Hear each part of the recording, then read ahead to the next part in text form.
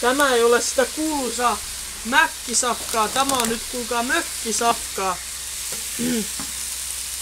Täytyy pitää tuo kaivurmies kuitenkin niin, kuin niin sanotusti leivän syrjässä kiinni, niin muutaman porkkanan tonne voihin pistin ja käristin sen verran, että ovat melko pehmeitä. Ja tässä ota, mitähän nämä nyt oli nämä kannat, jotka...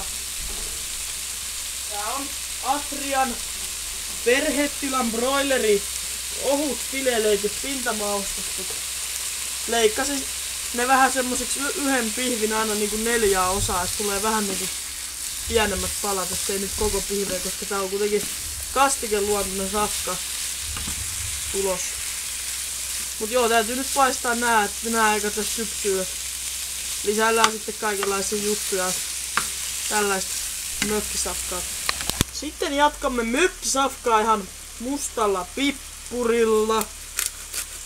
Muuten ei ole makua. Onhan noin maustettuja noin ganat, ettei siinä nyt tarvitse sitten pahemmin. Sitten oreganoa olisi, se on ihan ok. Tosta noin. Sitten olisi tota silipippuria. Kaivurimies ei ole ehkä tulisen ystävä, mistä sitä tietää. Joten ei laiteta kuvaa vähän se, sitä. Sitten voidaankin sekoittaa ja kanathan on saanut pinnan kypsäksi. Sisältä ovat raakoja.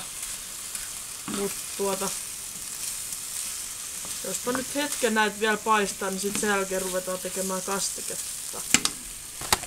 Tuommoista settiä. Käydään vielä katsomassa tosiaan minkälaisia hommia sillä kaivurilla nyt on, että, että miten hänet...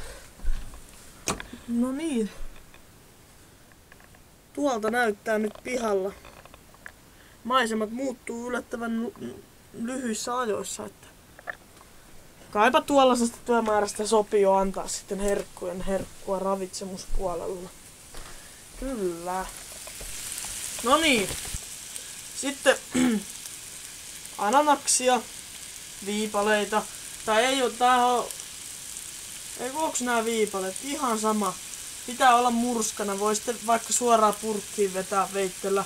Yleensä mehu otetaan talteen, mutta jos haluaa makeaa ruokaa, joo kyllä tää on viipaleen, mutta se veitsel voidaan vetää siivuiksi suoraan sinne purkkia. Jos tässä nyt vähän jäi, niin noihan ne menee pehmiät.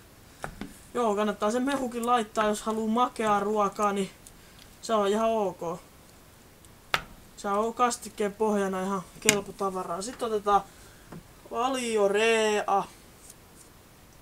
Onhan siinä toi seekin edes, mutta ruokakerma, koli, juustoa. Tämähän on suorastaan hyvää. Sitä koko purkki. No niin. Tähän täytyy tietenkin vielä sitten huuhtoa, ettei vaan mene yhtään tippaa hukkaan. Ja makaronivesikin olisi vähän niinku kiehumas. Mut juu. Tällain. Vähän on pannu täy, mut jospa me nyt selvitään hengissä tästä jutusta sitten kuitenkin. Vähän ehkä hakee tää ruokakin vielä, että onko tää nyt kastikeruoka vai mikä ruoka tää on. Et sitäkään nyt osaa sanoa. Nyt on vähän tämmöstä fuusioivaa taas. Sitten näyttää, että vähän on niinku, no nestepitoinen toi soosi, niin täytyy vähän suurustaa, että tuot tulee vähän dymägää. Ja juu, tässä on tuo ananaspurkki, että saadaan sieltä maut, mutta siinä on appelsiini, mehua, ihan jotain rainbow halapaa, että ei nyt varmaan ole mitään parasta laatua, mutta onhan nyt sitä. Se on erittäin hyvä kanaruoan kanssa tuo mehu. Sitten voidaan pistää tot ja tavallista vehnäjauhoa sinne vähän sekoitellaan. No niin, ettei tule sitä paakkuuntumista, sitä kaikkien niin pelkäämää paakkuuntumista. Ei se nyt niin paha ole. Kiehuttaa ruoan hyvin, niin paakutkin häipyy. Ja aivan sama. Jauhohan on hyvä. Ihminenhän elää aika pitkälti tämmönen suomalainen ihminenhän elää jauhopohjaisilla tuotteilla, niin miten me sitten väheksytään jotain jauhopalloja. Eikö mykysoppakin on vähän niinku sisäelimiä ja sitten siellä on tämmösiä jauhopallo, jauhopalloja. No juu. Näin sitä katsokaa lapset, lintsataan koulusta, tullaan muonitsemaan tänne tota kaivurikuljettajaa, niin tälleen sitä pitää hoitaa nämä opinnot, että varmasti sitten opettajakin on tyytyväinen. Sitten vaan tämän mukaan joukko iloiseen, niin eiköhän se tästä. Ja sillä aikaa kun ruoka hautuu, niin täällä voidaan harjoittaa tätä niin sanottua kermperseyttä. Täällä ihan makuuhuoneen sängyllä istuskella ja katsella, kuinka tuolla järkyttävässä sateessa ihmiset tekevät iloisia töitä. Se näkyy muuten rekka-auto tuo just uuden kasetin soraa tuohon tielle. No niin, Pertumaa jätkät. Juu, kopelkko. Hirveet kyllä on noin kasat, mitä tota maata tullut. Mut täällähän on kuulkaa oikein hyvä kattella tuvan puolella, kun toiset painaa hommia. Eihän toi kaivurikuski osakaan mikään huono ole kyllä.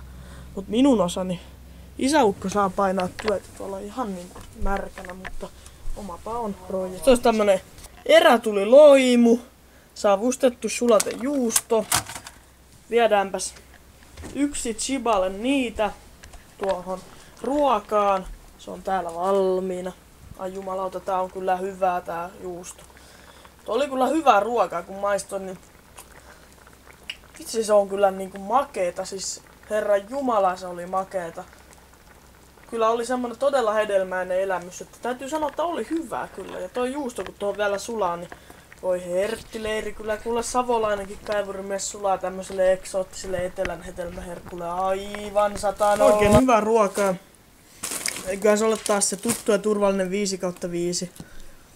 Makeaa ja mukavan juustoista.